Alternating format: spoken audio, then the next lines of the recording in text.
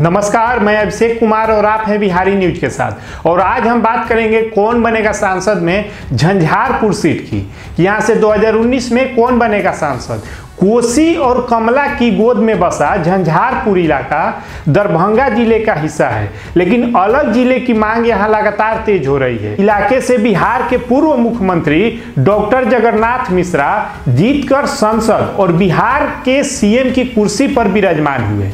ये इलाका कभी आरजेडी और जेडीयू के नेता रहे, देवेंद्र प्रसाद यादव का भी गढ़ रहा है, जो पाँच बार यहाँ से चुनकर संसद गए और केंद्र में मंत्री भी बने। यहाँ के वोटरों ने 2014 में पहली बार भाजपा को जीत दिलाई। पहले यहाँ की राजनीति में श्यामनंदन मिश्र, साथ भोगेंद्र झा डॉक्टर जगन्नाथ मिश्र, धनिक लाल मंडल एवं गौरी शंकर राजहंस जैसे नेता सक्रिय रहे हैं।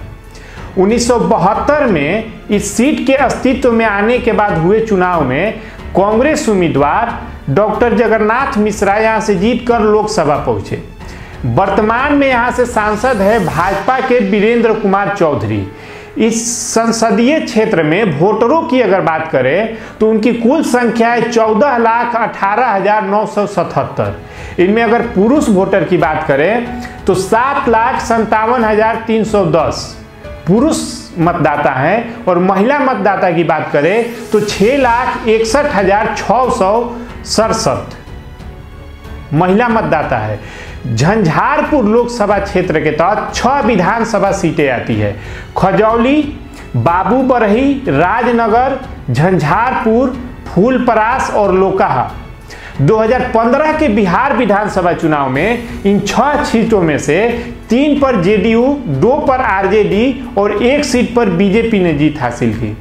झंझारपुर लोकसभा सीट पर 2014 में हुए चुनाव में जीत बीजेपी के हाथ लगी थी। बीजेपी के उम्मीदवार वीरेंद्र कुमार चौधरी ने जीत हासिल की, जिनमें उनको मत मिला तीन लाख पैंतीस हज़ार चार सौ इक्यासी, जबकि आरजेडी के मगनी लाल मंडल, जो कि दूसरे नंबर पर रहे, उनको मत मिला दो लाख अस्सी हज़ार तिहत्तर।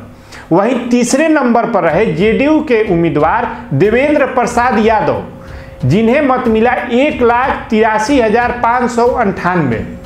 वहीं अगर बात करें 2019 की तो इस बार के बीजेपी जेडीयू गठबंधन में सीट जेडीयू के खाते में चली गई है। वहीं जेडीयू से इस बार रामप्रीत मंडल इस सीट से चुनाव लड़ रहे हैं, जबकि आरजेडी से गुलाब यादव उन्हें चुनौती देते मैदान में उतरे हैं। अब ये देखने वाली बात है कि 2019 में कौन यहाँ से बनता है सांसद और जनता किसको अपना प्रतिनिधि चुनती है। अगर आपको हमारा ये वीडियो अच्छा लगे तो इसे आगे शेयर कीजिए। साथ ही हमारे चैनल को सब्सक्राइब कीजिए, बेल आइकन पे क्लिक कीजिए।